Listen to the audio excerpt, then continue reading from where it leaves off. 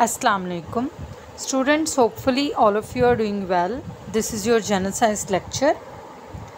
Petroleum petroleum एक माया fossil fuel है जो लाखों साल पहले कम गहरे समंदरों में समुद्री पौधों और खुर्दबीनी जानदारों ऐसे जानदार जो कि माइक्रोनिज़म्स होते हैं जिनको आप माइक्रोस्कोप की हेल्प से देख सकते हैं की बाकियात के ज़मीन में दब जाने और फिर तपश और दबाव की वजह से वजूद में आया तो पेट्रोलियम बेसिकली समंदर में पाए जाने वाले समंदरी पौधे और खुर्दबीनी जानदारों की बाक़ियात जब ज़मीन में बरी हो जाते हैं, उनके बरी होने के बाद तपिश और दबाव की वजह से वजूद में आते हैं।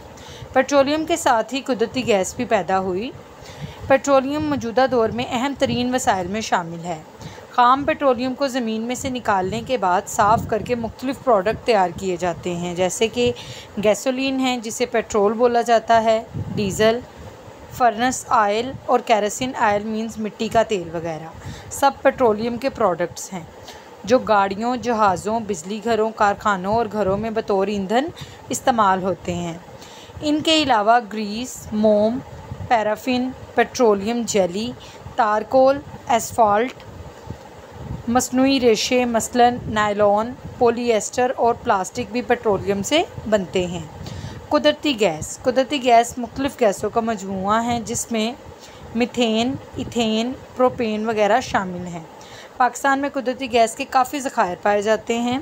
पेट्रोलियम और कोयला के अलावा कुदरती गैस भी तोानाई का अहम ज़रिया है। ये बिजली घरों में बिजली पैदा करने, सीमेंट और कीमियाई खादों की तैयारी और दूसरे कारखानों को चलाने के अलावा घरों में चूल्हे जलाने के काम भी आती है।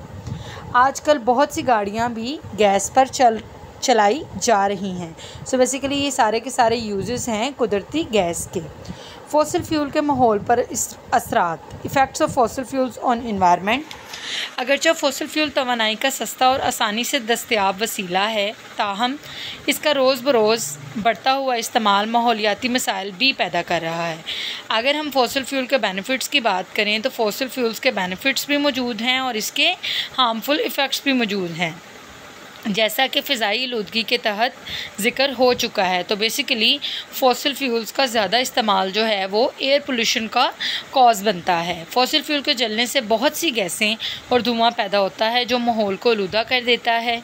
इसके अलावा कोयले और तेल की खुदाई के दौरान बहुत सी ज़मीन, जंगलात और जानदारों की कुदरती अमाज गाहें मीन्स जो एनिमल्स के नेचुरल हैबिटेट है वो इफ़ेक्ट होता है ज़ाया हो जाता है।